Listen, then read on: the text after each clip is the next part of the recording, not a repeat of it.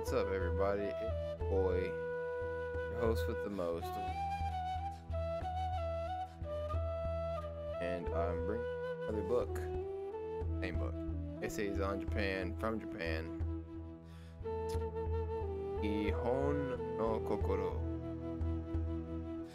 And the part three of the series. On going every day. Finish this book. Let me timer going. We'll commence the cold reading. In the development of their own culture, Japanese have borrowed many things from the advanced cultures of the Asian continent. Japan was, however, protected from the possibility of a sudden large influx foreign culture might obliterate its indigenous traditions and culture by the fact that the distance between Japan and the continent prevented prevented any mass movement of people back and forth. Rulers of Japan were, however, able to send envoys across on sturdy ships and were thus and were thus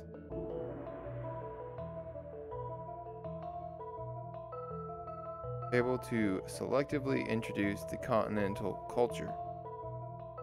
Throughout history, Japanese rulers have had a monopoly on the introduction of foreign ideas, which more often than not they used to reinforce their authority. Buddhism was no exception. exception. At the time, Buddhism was first introduced by the rulers of Japan, were attempting to establish a centralized government modeled on the governmental system of China. They brought in and applied principles of Chinese government as well as the philosophical and cultural concepts on which it was based. While they introduced Buddhism as a separate channel for the introduction of foreign civilization built Buddhist temples to serve as centers of foreign culture, in Buddhist temples there were many priests trained in the art of managing and applying introduced knowledge and information. The priests were under the protection of the state and were strictly prohibited from engaging in any kind of missionary activities among the people. Although the rulers conducted most government ceremonies in accordance with Shinto, they also frequently had the Buddhist priests carry out Buddhistic ceremonies similar to those of Shinto. In Shinto, spirits are believed to inhabit the land. Therefore, in the building of Buddhist temples, due respect had to be paid to the land spirits. These spirits were defied, were deified, and after a temple had been built, the local deity was worshipped as its guardian. It was also necessary to obtain consent of the Shinto mountain deities in order to procure the lumber and other materials required for the building of the temple. Buddhism, therefore, was able to gain acceptance among the Japanese only by establishing and maintaining friendly relations with the many indigenous deities. Eventually, it came to be taught that the guardian deities were reincarnations of Buddha enshrined at the temples and that their Therefore, to pray to these deities was the same as praying to Buddha. As the power of the state began to decline from around the 10th century, some priests began spreading Buddhism, Buddhist techniques, Buddhist teachings among the common people, and the Buddhist view of this world and of life slowly found its way into the thinking of the Japanese people. Indigenous Shinto beliefs, however, were not eradicated by the spread of Buddhism. Rather, Buddhism was absorbed side by side with Shinto, and the two religions became harmoniously interwoven in the lives of the people. Then, in about the 15th century, the Buddhist temples began actively to promote rites for the dead, in this way accelerating the general acceptance of Buddhist beliefs. The rituals for the ancestral spirits became closely tied in with Buddhism, and through Buddhism, there was established a system of ceremonies for the dead and souls that began with funeral services and continued long after death. In this way, Japanese have come to accept Shinto and Buddhism as being complementary to one another. They pray to the Shinto gods about things concerning this world and to Buddha about things concerning afterlife. In their relation with the Shinto spirits, the Japanese feel that they must be totally sincere and pure of heart, honesty and purity being fundamental teachings of Shinto. This in turn has provided a basis for the Japanese sense of beauty. Their feeling that the natural state is the purest and that any changes made by man spoil the, nat- the natural purity. As these Shinto beliefs came to be overlaid with Buddhism, Japanese began to see the complex art- artificiality of worldly life as merely a bother.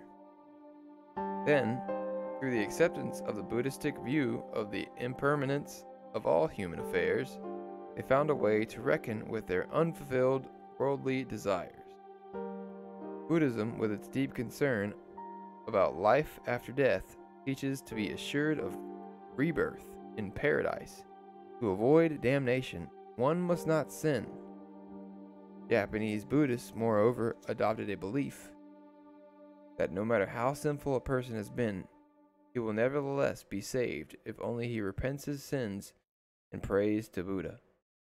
As a result, although Japanese have an awareness of sin, they seldom live in continuing fear of the consequences of their sins. For the Japanese, mercy and gentleness are the basic teachings of Buddhism. Most of the Buddhist ceremonies in which Japanese participate are modifications of Shinto rites related to ancestor worship. Still, there is no denying the fact that Buddhism, through its subtle influence on Shinto beliefs, which are fundamentally premised on an acceptance of this world, has done much to enrich spiritual life of the Japanese. We're in the uh, the next chapter, and it says the Constitution of 17 Articles and the Spirit of Law. And we get a, an image. It says five-story pagoda at Horyuji Temple, Nara, where Prince Shotoku is enshrined. Built in 607, the temple which he founded is the world's oldest wooden edifice in existence today, courtesy of Yukaka Kono.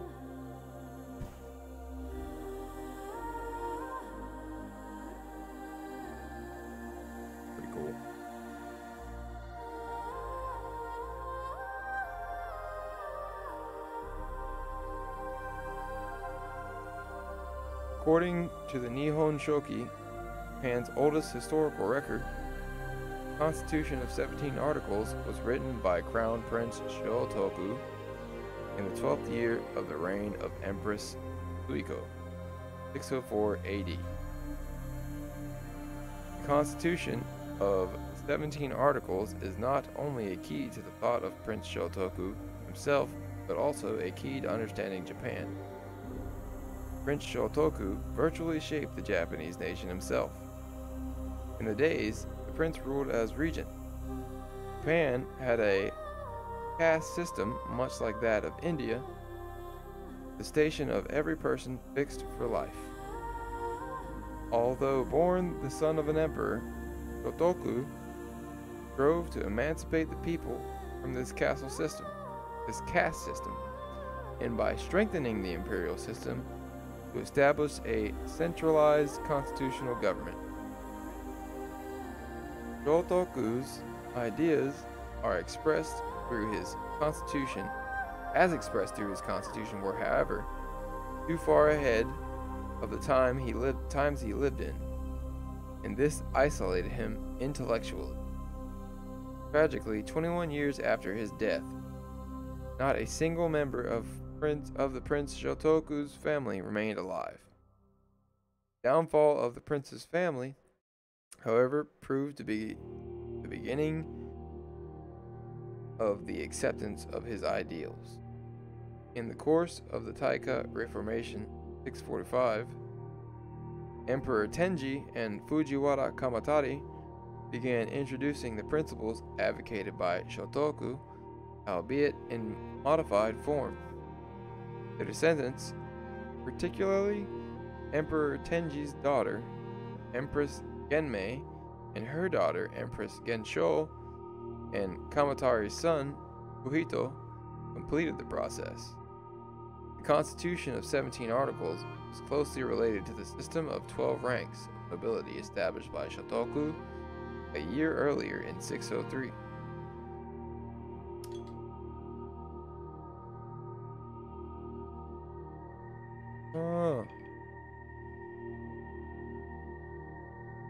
A system which designed which designated rank in accordance with five virtues derived from Confucianism and which was intended to provide provide the basis for a bureaucratic government.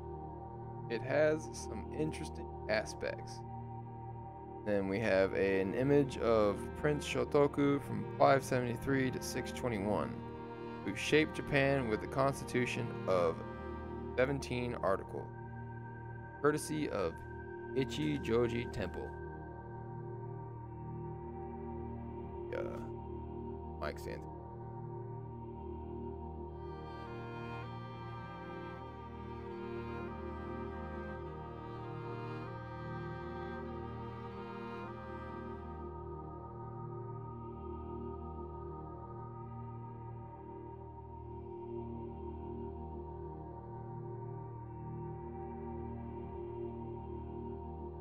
Y'all.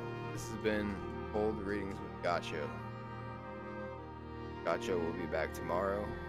More Cold Reading. Gotcha. Yeah. Matane.